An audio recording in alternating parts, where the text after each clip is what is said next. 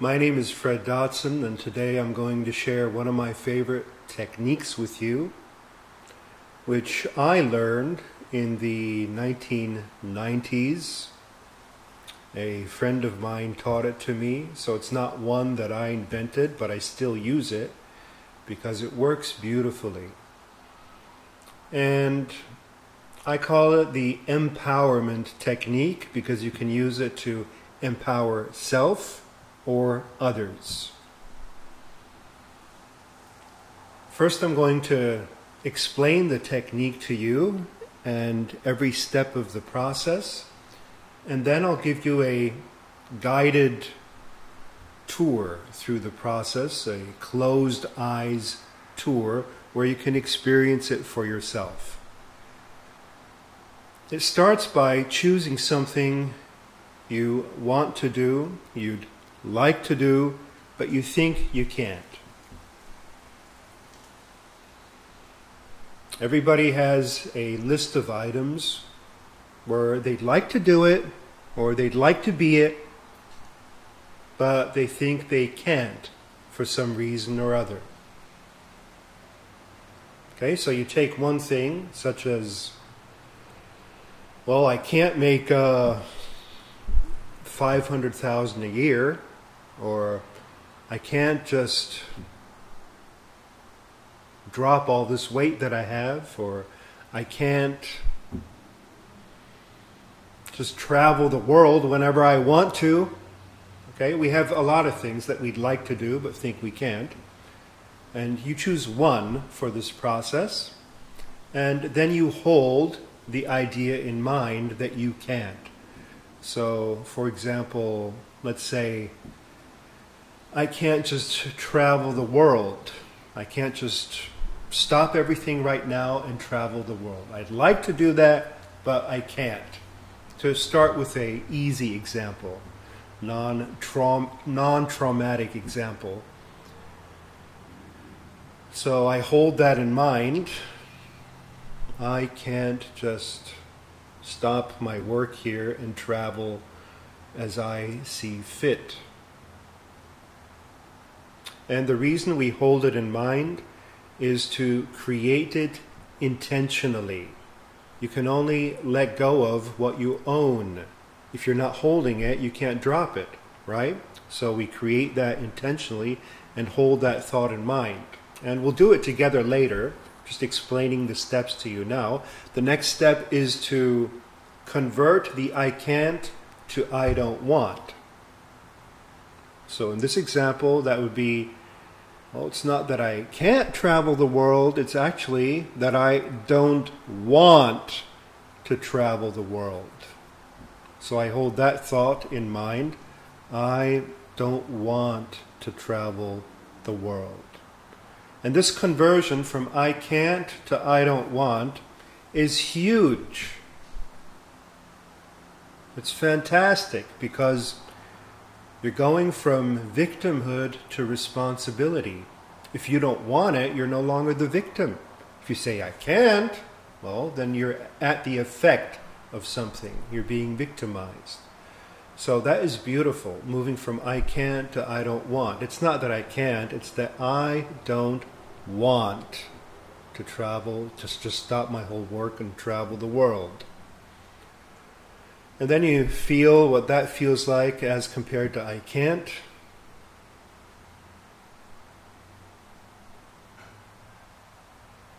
And then the third step is to add the word because.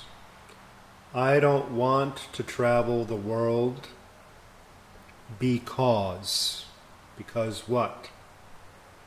And the purpose of that step is not only to take responsibility, but to feel the underlying frustration, the underlying emotion. Anytime you deal with a I can't, there is an underlying tension or negative emotion hiding behind it. Which is why you keep repeating, oh, I can't, I'd love to, but I can't, I'd love to, but I can't, which is nonsense, which keeps you trapped. Right? So, I don't want to travel the whole world right now because because I have all these obligations. I have coachings that are running, I have a live seminar coming up. Um, these are obligations, these are commitments that tie me down. You know, if I want to speak of it in a frustrated way, they tie me down. Now, I don't really believe that. I'm just using this as an example for the process. In fact, I don't have any frustrations at the moment. It's a good life because I've been using exercises such as this. I don't want because because it's just such an hass- such a hassle. Traveling the world is a hassle these days. Who wants to go through uh, the TSA anymore? And who wants to carry around all these all this vaccine stuff? Get injected with all this stuff. Who wants that? Traveling is a hassle. I miss the good old days where you could just uh, get on a ship and discover new land. So you feel the underlying frustration, you allow it to pass through, you don't suppress or resist it, it's just energy passing through. It's allowed to be there, and then you shift your attention in the next step to if I really, really, really wanted it, I could. If I really wanted, I can. Okay, so in my example, if I really want it, I can travel the whole world. And just get a sense of what it feels like that you actually can.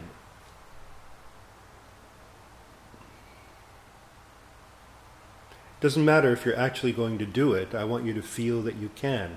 I want you to go from a feeling of being disempowered to empowered.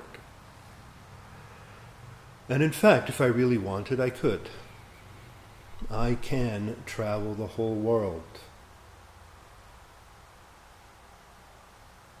I can also travel it bit by bit. I don't have to travel the whole world at once. Okay, now we'll go through it together Choose your topic. Don't use mine. That was my topic.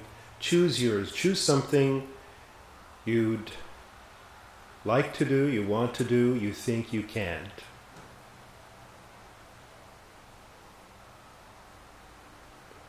And then hold that thought in mind. I can't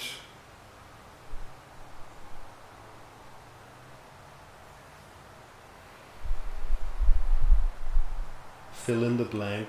I can't. And feel what it feels like to think you can't.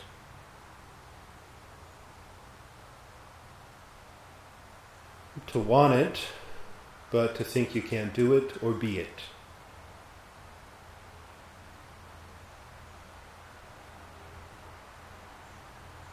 And then convert the can't to I don't want. So I don't want. It's not that I can't, it's really that I don't want to be or do that. Fill in the blank. I don't want.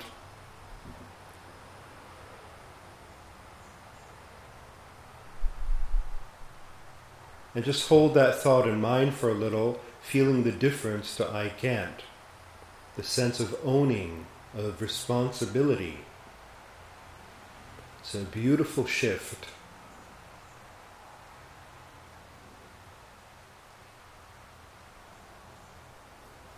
And then let's look at the underlying emotion. I don't want to be or do that because. Because what? You fill in the blank.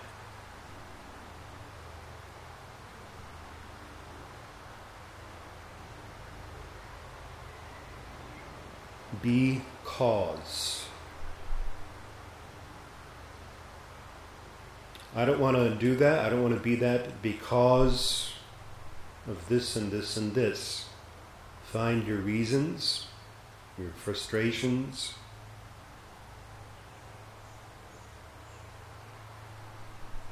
And now that you've established that you don't want it and the reasons you don't want it, shift your attention and realize if I really wanted it, I can. If I really want, I can.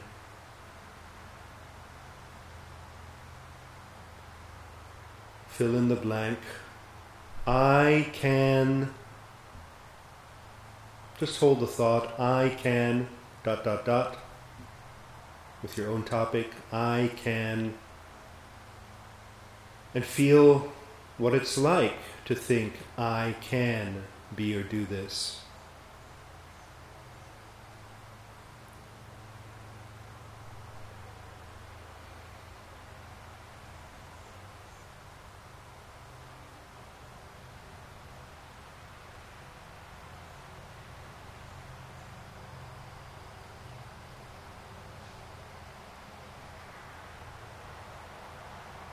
All right, that's your first experience with the technique.